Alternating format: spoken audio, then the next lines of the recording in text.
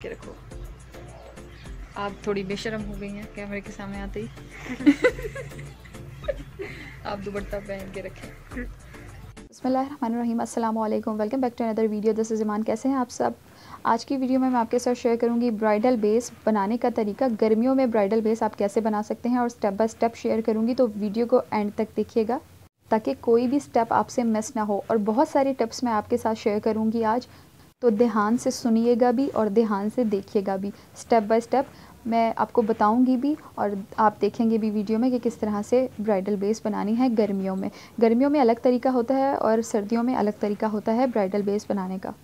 First of all आप daily basis पे cleanser करें या फिर अगर आपने किसी ब्राइड को तैयार करना है तो उनको कहें कि वो डेली बेसिस पे क्लेंज़र करें। कभी भी मेकअप लगा के ना सोएँ, मेकअप को हमेशा रिमूव करके सोएँ और कोई भी फेशियल ना करवाएँ जिस दिन आपने मेकअप करना हो, क्योंकि आपकी बेस जो है आपकी स्किन से स्लिप कर जाती है। तो अगर आपने कहीं जाना है और मेकअप करवाना है या बेस बनानी है या ब्राइडल बेस बनानी है तो आप दो दिन पहले फेशियल करें। तो सबसे पहले यहाँ पर मैं ले रही हूँ लोशन आप कोई भी लोशन ले सकते हैं। अगर आपकी ऑयली स्किन है तो बहुत ही कम लोशन लगाएँ, लेकिन लगाना ज़रूर है मेकअप से पहले। इससे है आपकी स्किन मॉइस्चराइज हो जाएगी और अगर आप जब बेस लगाएँगे तो वो एक केकी इफ़ेक्ट आपके फेस पे नहीं आएगा। ये टिप आप अपने पास नोट डाउन कर लें। अब ये प्राइमर मैंने लिया है, इससे ये है कि आपकी बेस लॉन्ग लास्टिंग हो जाती है। रिवाज यूके का प्राइमर है। आपने इतनी सी क्वांटिटी में लेना है और इस तरह फिंगर टिप्स पे इसको इस तरह से करना है और फिंगर टिप्स से ही अप्लाई करना है नोज़ एरिया पे और यहाँ पे। इस तरीके से अप्लाई करना है आपने। आप फेस पे कोई भी प्रोडक्ट लगाएँ तो उसको थोड़ा सा टाइम दें। अब ये जो बचा है मेरे हाथ पे प्राइमर बिल्कुल हल्का सा लगा हुआ था, वो मैंने पूरे फेस पे अप्लाई कर दिया तो हर चीज़ को आपने टाइम देना है थर्टी सेकेंड एटलीस्ट अगर आपको मेरी वीडियो हेल्पफुल लग रही है तो वीडियो को लाइक कर दें और सब्सक्राइब के बटन को प्रेस करके ऑल पे क्लिक करें ताकि इन्फॉर्मेटिव वीडियोज़ आपको मेरे चैनल पर मिलती रहें।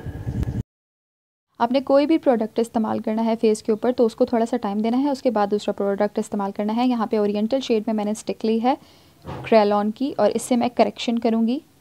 और ये डार्क सर्कल्स पे अप्लाई होती है। और अगर आपके फेस के ऊपर रेड स्पॉट्स हैं तो आप ग्रीन कलर करेक्टर इस्तेमाल करेंगे। यहाँ पे रेड स्पॉट्स कहीं भी नहीं है तो इनको डार्क सर्कल्स हैं, वो भी बिल्कुल लाइट तो यहाँ टैप टैप करके मैंने ये ब्राउनिश टाइप जो शेड है स्टिक का ओरिएंटल शेड ये अप्लाई करूँगी मैं टैप टैप करके इसको पूरे आईलेट पे अप्लाई कर रही हूँ। नज़र नहीं आ रहा तो मैं आपको फ्लैश लाइट ऑन करके भी दिखाती हूँ कि इस तरह से ब्लेंड करना है आईलेट के ऊपर। अब ये क्रैल ऑन की स्टिक ले रही हूँ मैं। एफ़ एस फोर्टी फाइव इसका शेड है। एफ़ एस फोर्टी फाइव अगर आपका फेयर कलर है तो आप एफ़ एस फोर्टी फाइव ही लें, क्योंकि ये स्किन से बिल्कुल मैच करता है। गर्मियों में जब आप बेस बनाएँ तो बहुत ज़्यादा क्वांटिटी इस्तेमाल मत करें नॉर्मल क्वांटिटी में इस्तेमाल करें, जैसे आप देख रहे हैं। अब ये फिंगर टिप से मैं लेके इसको ब्लेंड करूँगी। देखें, ये बिल्कुल शेड मैच हो रहा है F S forty five skin के साथ और ये फेयर कलर में है इनका कलर कॉम्प्लेक्शन आप ब्राइडल बेस बनाएँ या फिर कोई भी बेस बनाएँ तो कभी भी बहुत ज़्यादा वाइट मत चूज़ करें, अपनी स्किन के हिसाब से चूज़ करें। जो भी कलर हो फाउंडेशन का, अपनी स्किन के हिसाब से चूज़ करें। कभी भी वाइट की तरफ़ नहीं जाएँ, बिल्कुल। और अगर आप ब्राइडल बेस भी बना रहे हैं तो फिर कम क्वांटिटी में लें। गर्मियों में बेस हमेशा कम क्वांटिटी में लें, वरना बेस आप जितनी भी अच्छी हो, वो फिर बेस फट जाएगी और बिल्कुल या फिर ग्रे हो जाएगी। तो गर्मियों में आप कम बेस लें। और ये मैं जो आपको बता रही हूँ स्टेप बाय स्टेप ये गर्मियों में ब्राइडल बेस बनाने का तरीका है। तो आप एंड तक देखिएगा स्टेप बाय स्टेप ताकि कोई भी स्टेप मिस ना हो। और मैं इसको फिंगर से ब्लेंड कर रही हूँ, जो stick F S forty five मैंने अप्लाई की। अच्छे से इसको ब्लेंड करना है फिंगर के साथ। फिंगर से ब्लेंड करने से यह है कि ब्लेंडिंग ज़्यादा अच्छे से होती है। ब्लेंड करने के बाद कुछ इस तरह से है ये। स्टिक अब ये है कि मैंने स्पॉन्ज लिया है डैम स्पॉन्ज गीला है, लेकिन इससे पानी नहीं निकल रहा, ठीक है? मैंने आपको दिखाया भी है वीडियो में। तो इसको मैं, जो भी स्टिक लगाते हैं, उसको स्किन में जस्ट भी करना होता है तो इस तरह से स्पॉन्ज पकड़ना है और इस तरह से टैप टैप करना है स्किन के ऊपर ही, ताकि ये स्टिक बिल्कुल स्किन में जज्ब हो जाए। इस तरह से टैप टैबिंग मोशन में स्टिक को बिल्कुल फेस पे ऑब्ज़र्व करना है और इस हिस्से पे भी बेस लगानी है। अक्सर लोग इस हिस्से पे नहीं लगाते तो ये फेस से अलग हिस्सा लग रहा होता है। मेरी पिछली वीडियो जो थी, वो शॉपिंग व्लॉग थी, बलोची अफ़गानी और सिंधी और ऑर्डर पे बनने वाले ड्रेसेस पे रेप्लिका ड्रेसेस पे। अगर आपने वो नहीं देखी तो अभी जाकर देखें। बेस बनाते हुए आपने कोई भी जल्दी नहीं करनी। बिल्कुल पेशेंस का काम है ये। वीडियो यहाँ पे मैंने थोड़ी फास्ट की है, लेकिन आपने बिल्कुल हल्के हाथ से टैपिंग करनी है। स्टिक को स्किन के अंदर अच्छे से बिठाना है, ताकि स्लिप ना करे। कोशिश करें नाक पे हमेशा बेस कम लगाएँ, क्योंकि यहाँ से बेस हमेशा स्लिप होती है तो कोशिश करें यहाँ पे बेस थोड़ी सी कम लगाएँ। इस स्टेप के बाद अगर आपकी स्किन ऑयली है तो आप कॉम्पैक्ट पाउडर अप्लाई कर सकते हैं। अगर ड्राई है तो ना करें। ये कॉम्पैक्ट पाउडर अप्लाई कर सकते हैं शेड ज़ीरो वन में। अब यहाँ पे क्रेलॉन कंपनी का ही आइवरी शेड में ड्राई केक लिया है मैंने। ड्राई केक या पैनकेक लगाने के बहुत सारे तरीके होते हैं। आज जो मैं आपको तरीका बताऊँगी, ये गर्मियों में यूजुअली इस्तेमाल किया जाता है। अब ये सिल्वर शाइनर लिया है मैंने। आप किसी भी कंपनी का शाइनर ले सकते हैं। इस कैप में मैंने शाइनर डाला है, सिर्फ़ इसको छिड़कने के लिए, ताकि इसका एक इफ़ेक्ट रह जाए। और इस तरीके से उसको फिर कम कर लिया है उसमें। इस तरीके से सिर्फ़ इतना ही आपने शाइनर रखना है कि सिर्फ़ कैप के ऊपर लगा हो, ज़्यादा ऐड ना हो इस पर अब ये मैंने कैप लिया है, आप किसी भी चीज़ का, ब्रश का बैक साइड ले सकते हैं कुछ भी, जिससे आप ये पैन केक को खुरच के इसमें कैप के अंदर आप पाउडर फॉर्म में डाल सके। मैं ये क्रीम के कैप से इसको खुरच के इस कैप के अंदर, क्रेलॉन का जो कैप है, इसी में बेस बना के लगाऊँगी इस तरीके से मैं इसको पाउडर फॉर्म में निकाल रही हूँ, क्योंकि मैंने बिल्कुल पतला पेस्ट बनाना है। सर्दियों में मैं जब बनाती हूँ तो उसका बिल्कुल अलग मेथड होता है।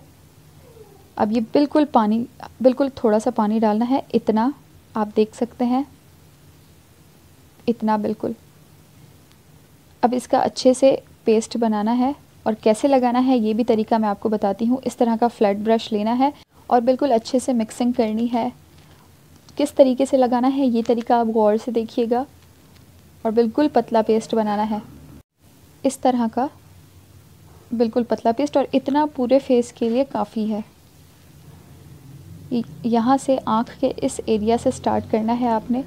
गर्मियों में कभी भी ज़्यादा बेस मत लगाएँ, कभी भी ज़्यादा फाउंडेशन मत लगाएँ।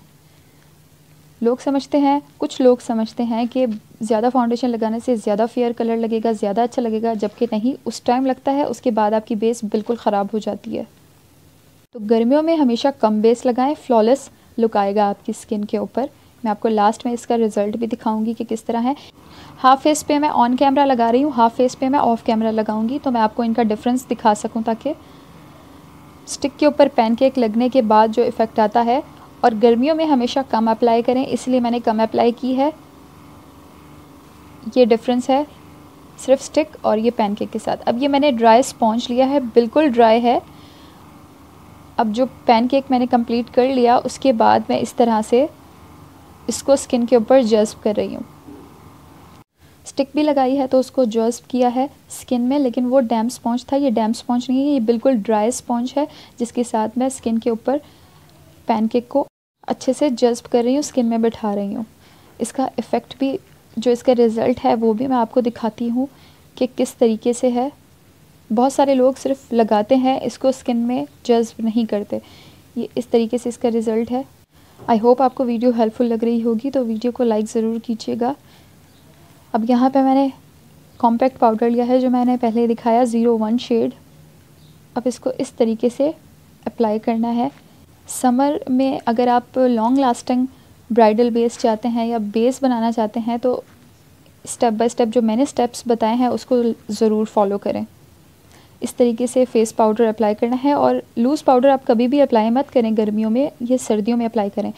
कॉम्पैक्ट पाउडर आप गर्मियों में अप्लाई करें। अगर आपकी स्किन गर्मियों में भी ड्राई है तो आप ब्रश की हेल्प से अप्लाई करें। इस तरीके से। इससे ये है कि बहुत ज़्यादा केकी लुक नहीं आएगा आपकी स्किन के ऊपर। और जो सबसे पहले लोशन लगाया था, आप कोई भी लोशन ले सकते हैं। ब्रश से लगाने से यह है कि आपके फेस के ऊपर बहुत ज़्यादा केकी इफ़ेक्ट नहीं आएगा। तो अगर आपकी ड्राई स्किन है तो मैं रिकमेंड करूँगी आप ब्रश से अप्लाई करें। मैं आपको दोनों का डिफरेंस दिखा देती हूँ। ये मैंने ब्रश से लगाया है और ये मैंने पफ़ से लगाया है। पफ़ की जो कवरेज है, वो थोड़ी सी ज़्यादा है और केकी नहीं लग रहा। लेकिन ड्राई स्किन है तो आप ब्रश के साथ अप्लाई करें कॉम्पैक्ट को। अब ये मैंने यहाँ पे रिवाज का मेकअप फिक्सचर लिया है। जो कि मैंने थोड़ा फासले से फेस के ऊपर स्प्रे करना है, थोड़ा सा फासले से स्प्रे करना है। ये था समर में लॉन्ग लास्टिंग बेस बनाने का प्रोफेशनल तरीका। आपको इसका लास्ट रिज़ल्ट भी दिखाती हूँ। ये है इसकी फिनिश लुक आई होप आपको वीडियो पसंद आई होगी। वीडियो पसंद आई है तो चैनल को सब्सक्राइब करें वीडियो को लाइक करें। मिलते हैं नेक्स्ट वीडियो में। तब तक के लिए अल्लाह हाफिज़।